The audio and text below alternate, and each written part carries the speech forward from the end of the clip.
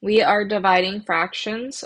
My learning target is I can multiply and divide positive rational numbers fluently. So I'm going to go through the steps of dividing fractions and then I'm going to explain why these steps work. All right, so the first thing we are going to do is we are going to keep the first fraction the same. And then we are going to change the division problem to a multiplication problem.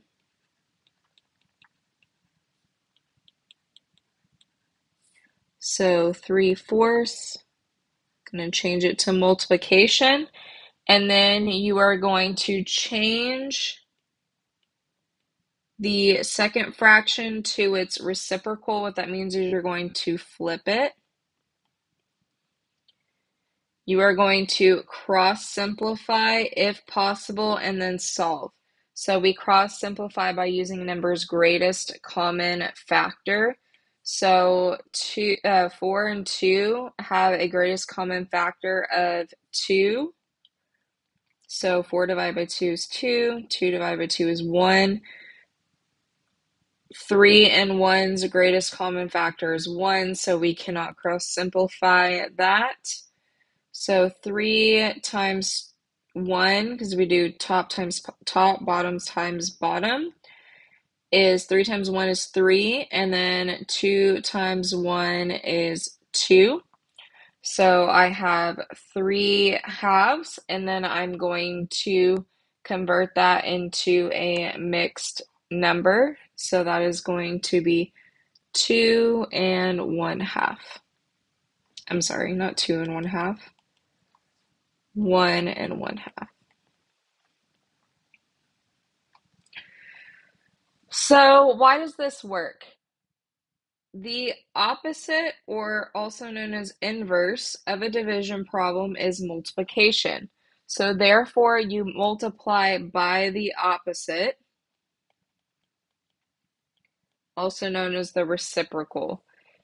So, A divided by B equals A over B. If you have a fraction over a fraction,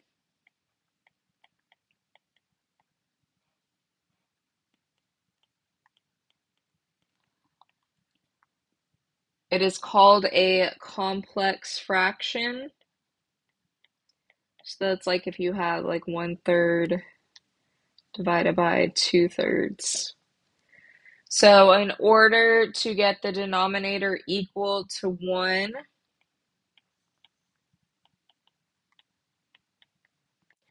you will multiply by its reciprocal.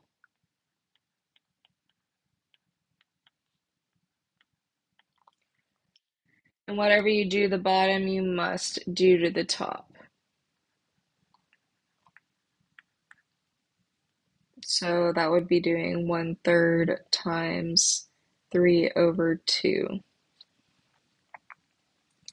The reason you do that is two thirds times three over two equals one. Let me kind of erase this and show this better.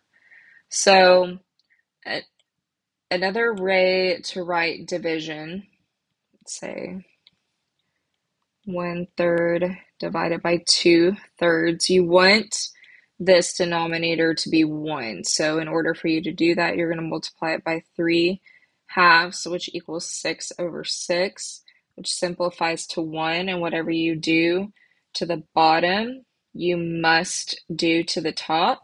So then I would multiply by three halves so then I get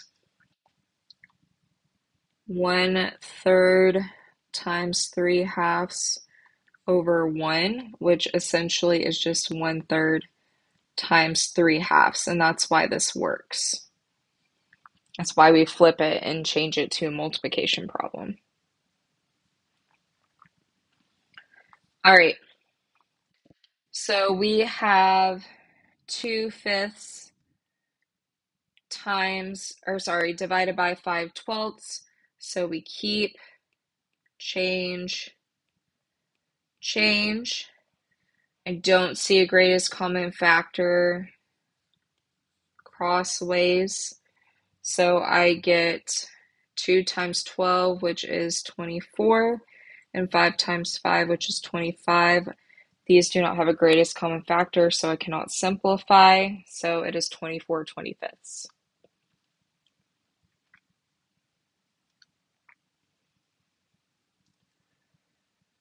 All right, number two,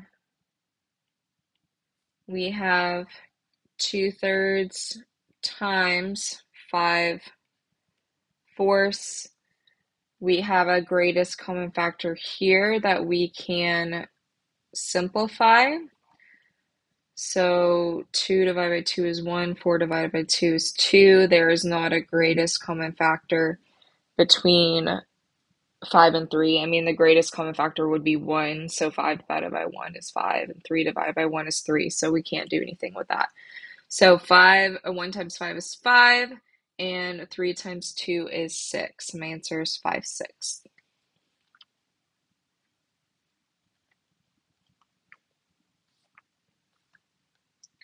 All right, number three, we're going to keep, change, change. My greatest common factor between these is 9, so I can change, cross simplify this. Oops. And then my greatest common factor between these two is 1, so I can't simplify anymore. 18 times 2 is 6 and then 1 times 7 is 7 and then I'm going to turn that into a mixed number 2 2 2 and 2 sevenths is my answer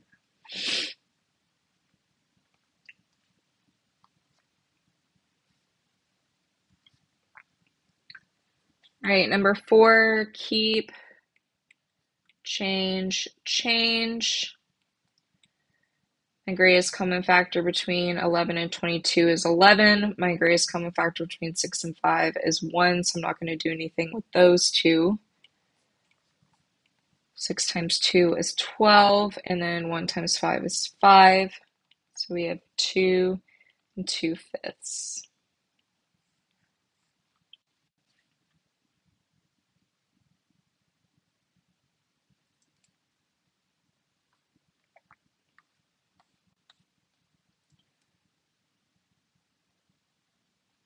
Sorry, I'm just looking at my color pattern here. All right, keep, change, change. My greatest common factor between these two looks like 5. And then I do have a greatest common factor other than 1 right here. It's 8. 3 times 2 is 6. 7 times 1 is 7. My answer is 6 sevenths.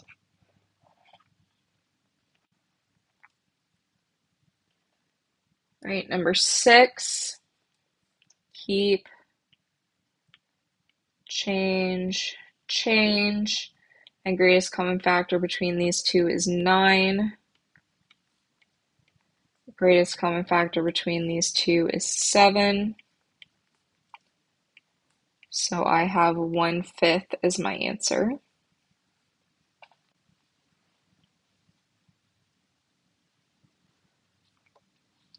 All right, the Jacobs family are eating leftovers for dinner. They have two thirds of a pizza left and they need to split it between three people. That's how I know I'm doing division because I'm splitting it in between three people. How much pizza will each person get?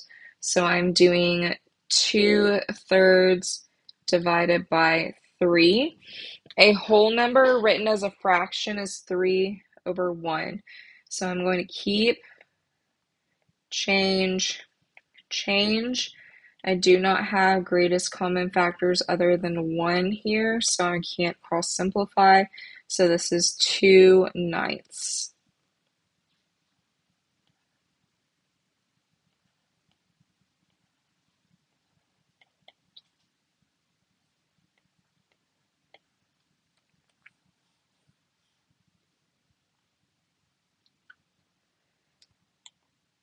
Jamie and Ben went to the movies. They ate popcorn before the movie and had three-fourths of the bag left to divide amongst their two kids.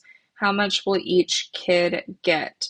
So we have 3 fourths divided by 2. Write that as a fraction. It's over 1. 3 fourths, keep, change, change. No greatest common factor other than 1, so I cannot cross simplify. Then I have 3 eighths.